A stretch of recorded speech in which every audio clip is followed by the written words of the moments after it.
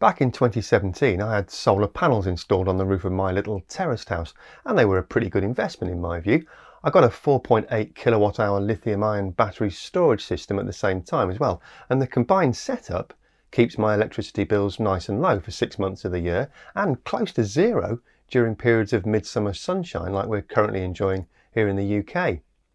The projection is that I'll break even on costs in year 7, which for me will be about 2024, after which any electricity from the panels will effectively be free for the rest of their operational lifetime, which could be 15 years or more. Or, judging by the feedback from some of you very long time solar panel users out there, it could be way longer. A few folks have told me their panels are still going strong after 30 years. But however well your panels hold up, there will inevitably eventually come a point where they need replacing. And that raises the old chestnut of what happens to the dead panels when they get scrapped. Until recently, the answer to that question has usually been to shred them and chuck them into landfill, along with everything else we can't be bothered to deal with responsibly. And when the number of panels in operation globally was relatively low, that waste could be massaged into the general garbage without anyone really noticing. But as the number of panels continues to grow almost exponentially, the folks in the solar PV industry are realizing that the lack of effective recycling is kind of making them look bad.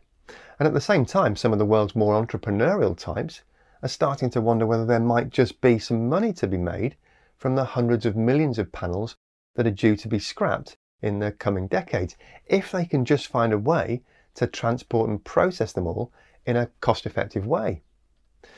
So, are they right? Can it be done at scale? And can profits really be made along the way? Well, a new report published in July 2022 says this. Oh, yeah!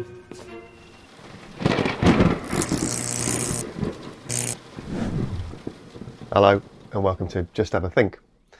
Now, I've got to be honest, I always feel a little bit uncomfortable using the profit motive as a means to justify taking actions that we should have been taking anyway as responsible human beings. But sadly, in most cases, that seems to be the only way to motivate the folks holding the purse strings. I guess the trick is to attract entrepreneurial investment that actually results in a positive impact on our climate and environment. And if this latest analysis from the Norwegian research consultancy Rystad Energy is anything to go by, then solar PV recycling definitely fits that bill. Solar panels contain all sorts of components, some very valuable like silver, and others very energy intensive to produce like polysilicon, but all of which could potentially be harvested from old panels and reused in new ones. The trouble is, landfill is far too cheap and easy an option nowadays, and prices for recycled PV materials just don't currently compensate for the cost of transportation, sorting, and processing required to separate them all out and ship them to different locations. But according to this latest Rystad analysis, demand for recycled solar panel components is set to skyrocket in the coming years as the number of installations surges and the threat of a material supply bottleneck looms.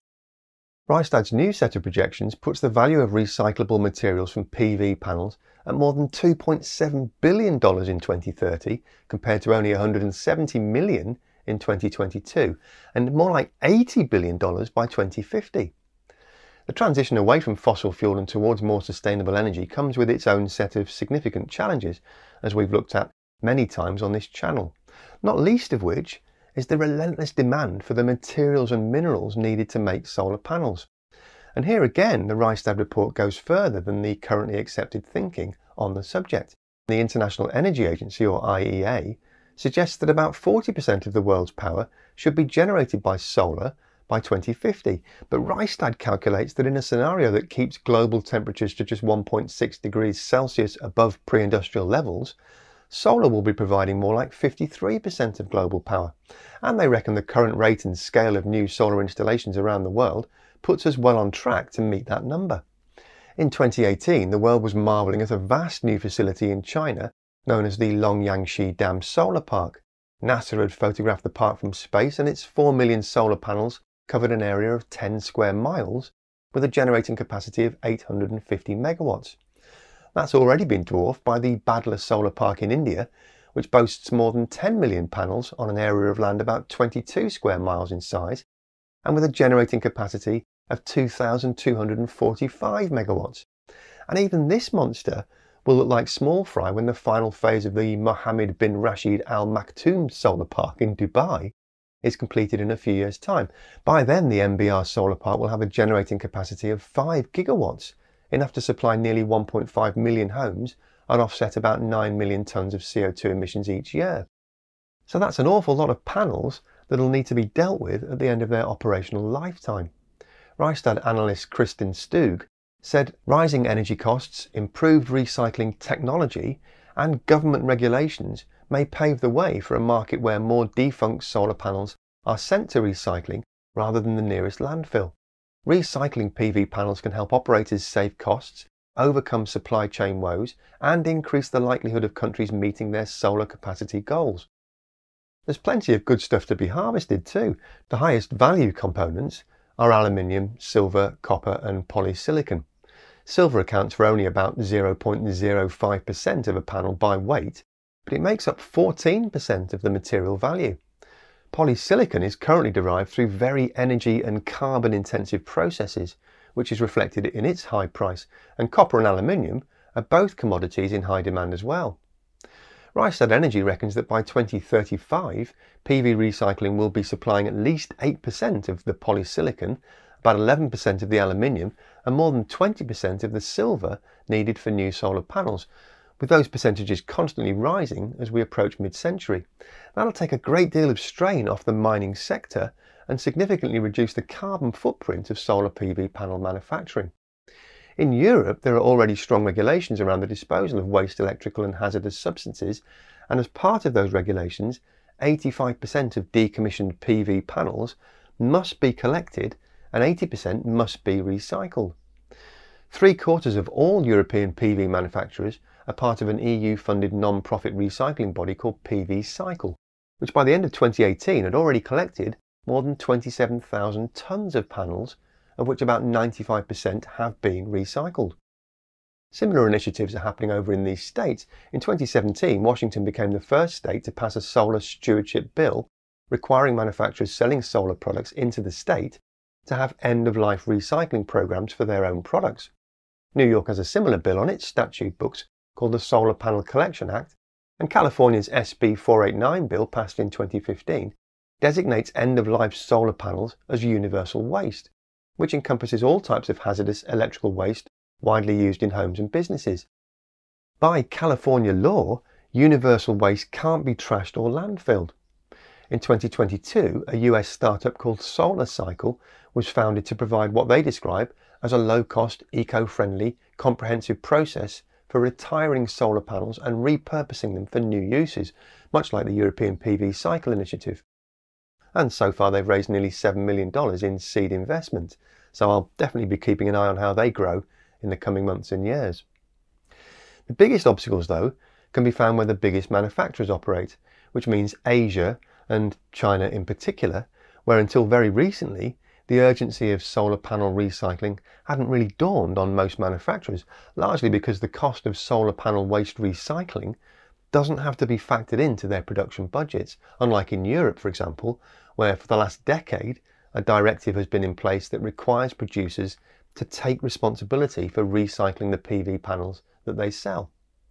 A recent Chinese report estimated that by 2035 that country would have more than a million tonnes of retired solar panels, it does look like the top brass in central government are beginning to see the coming problem though. Earlier this year, they issued a new policy that promotes the development of technologies for the reuse of retired solar and wind facilities and to improve recycling systems for EV batteries. But because they're so far behind the curve on this one, there's currently a gap between the quantity of waste and the capacity to handle it. China's first pilot project for PV recycling only came into operation in January this year. It can process the equivalent of 10 megawatts of waste solar panels. But that number is dwarfed by the 53,000 megawatts of new solar power that China installed just in 2021 alone. Now, Xi Jinping's regime has historically demonstrated a breathtaking ability to catch up extremely quickly once they set their mind to a project. So I guess we'll just have to hope that the challenge of recycling renewable waste products is no exception. If you're involved in this fast growing industrial sector, or if you just have views on how we're adopting and adapting to renewable energy in general, then why not jump down to the comment section below and leave your thoughts there. That's it for this week though. A massive thank you, as always, to our fantastic Patreon supporters who keep these videos completely independent and ad-free. And I must just give a quick shout out to the folks who've joined recently with pledges of $10 or more a month. They are Christopher Hefferin, Merrilee Moffat, Todd Spencer, Moritz van Maastricht, Daniel Adcock, Martin Zaz, Ali Al Douglas Smith, Mikhail Johnson, Doug Hughes, Marcus Buchan, John Evans, Jash Rugani, and Eric Noriega. And of course, a huge thank you to everyone else who's joined since last time too. If you feel like you could support the channel for about the price of a coffee each month and keep me posting these videos every Sunday, then you can find out how to do just that by visiting patreon.com forward slash just have a think. And of course, the easiest way to support us via YouTube completely for free is by clicking that subscribe button and hitting the notification bell. All you need to do is click on that little icon in the corner or on that icon there. As always, thanks very much for watching.